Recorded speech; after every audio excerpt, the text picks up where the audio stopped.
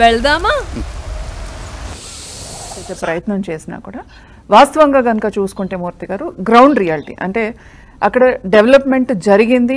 నిజంగానే అంటే ఇవాళ కేంద్రంలో భారతీయ జనతా పార్టీ సర్కార్ ఉన్న రాష్ట్రంలో అక్కడ బీజేపీ గవర్నమెంట్ ఉన్నప్పుడు ఒక పద్నాలుగు ఇరిగేషన్ ప్రాజెక్ట్స్ కానివ్వండి లేదా రైతులకి కిసాన్ సన్మాన్ నిధి కేంద్రం నుంచి ఆరు వేలు వస్తుంటే రాష్ట్రంలో ఒక నాలుగు వేలు ఇవ్వటం కానివ్వండి తర్వాత స్టూడెంట్స్కి హైయర్ ఎడ్యుకేషన్ కోసం వాళ్ళకి ఒక నల్ ఒక ఇరవై లక్షల మందికి స్కాలర్షిప్స్ ఇవ్వటం కానీ ఇట్లా చూసుకుంటే చాలా డెవలప్మెంట్ డెఫినెట్గా జరిగింది. ఇన్ఫ్రాస్ట్రక్చర్ కానివ్వండి పోర్ట్స్ కానివ్వండి ఎయిర్పోర్ట్స్ కానివ్వండి ఇట్లా డెవలప్మెంట్ డెఫినెట్గా జరిగింది.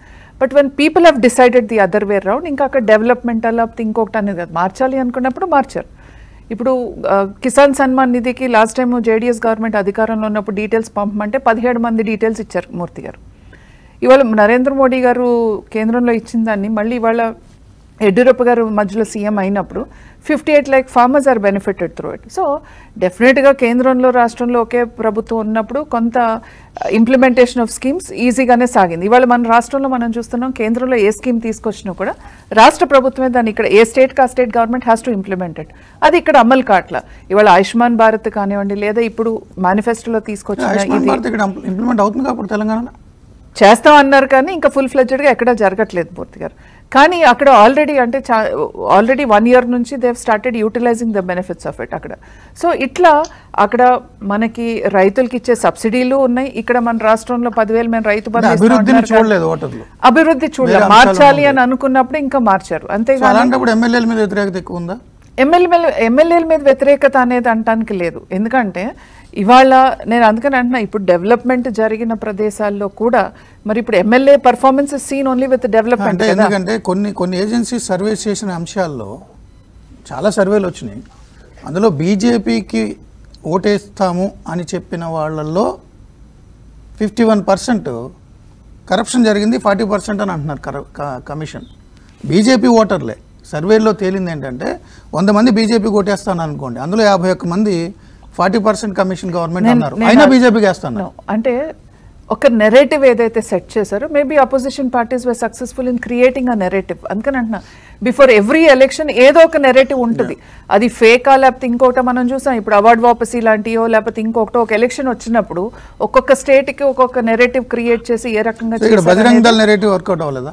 Bajrang Dal narrative is not what we created కదా. బజరంగ్ దల్ దాని గురించి వాళ్ళు కదా మేనిఫెస్టో కేరళ స్టోరీ ఇవన్నీ తీసుకొచ్చి పిఎంఏ చెప్పారు కేరళ స్టోరీ గురించి? ఇప్పుడు అట్లా కాదు. ఇప్పుడు మేమేమైనా మేనిఫెస్టోలో పెట్టమని చెప్పామా వాళ్ళని? కాంగ్రెస్ మేనిఫెస్టోలో కదా మూర్తి గారు వాళ్ళు పెట్టింది బజరంగ్ దల్ని మేము పిఎఫ్ఐ బజరంగ్ దళ్ బ్యాన్ చేస్తామని. మా మేనిఫెస్టోలో ఏమైనా మేము బజరంగ్ దల్ని బజరంగ్ దల్ని వాళ్ళు మేనిఫెస్టో వాళ్ళు బ్యాన్ చేస్తే మేము కాదు మేము ఇది చేస్తామని మేము ఏం పెట్టలేదే. సో ఇక్కడ కమ్యూనియల్గా చూసింది ఎవరు అని అంటే డెఫినెట్గా Congress has brought that communal figure Rahul Gandhi Jodo Yatra Rahul Gandhi కర్ణాటకలో మాట్లాడిన మోడీ మాటలకే ఆయనకు డిఫామేషన్ కేసు డిఫామేషన్ కేసులో పనిష్మెంట్ ఇమీడియట్గా ఇల్లు ఖాళీ చేయించడం. అంటే రాహుల్ సభ్యత్వం రద్దు రాహుల్ ఇంపాక్ట్ ఉందంటారా? రాహుల్ గాంధీ గారు మాట్లాడింది అది ఇప్పుడు కాదు. అది గతంలో ఆయన మాట్లాడింది బెంగళూరులో మాట్లాడింది. అవును.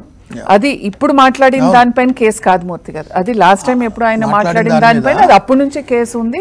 That is a different issue కానీ ఇవాళ ఒకటి మనం కర్ణాటకలో ఇన్ కేస్ మనం ఈ కమ్యూనల్ది ఇంకోటి చూస్తే మతపరమైన reservation which is not constitutional దాన్ని మళ్ళీ మేము తీసుకొచ్చి మళ్ళీ మేము ఫోర్ పర్సెంట్ ఇస్తాం అన్నప్పుడు Congress has to come out and say that ఏ రకంగా ఇస్తారు ఎవరు రిజర్వేషన్ కట్ చేసి ఇస్తారు అనేది వాళ్ళు చెప్పాల్సిన అవసరం. ఉంది.